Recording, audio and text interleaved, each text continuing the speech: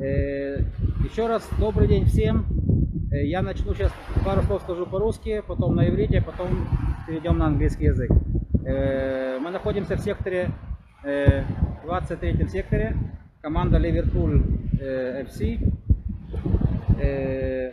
Наш англоязычный друг из ЮАР, так как он по-русски не говорит, соответственно, он будет говорить по-английски. Yeah. Good afternoon. My name's Ellen Fletcher.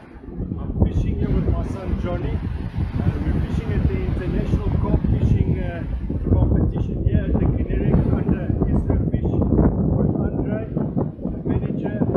It's been a wonderful, wonderful experience. A little bit cold, a lot of rain, but uh, conditions are not too bad considering. Very slow on the bite, bite so far and few between. But we're hoping, we're hoping. We've been here for four days. Uh, we got, uh, sorry, three days. We've got another two days to come. And let's hope we pick up uh, a couple of carp. Uh, wonderful experience. So for anybody who's a keen carp angler, I suggest you hook up to IsraFish. Get hold of a gentleman by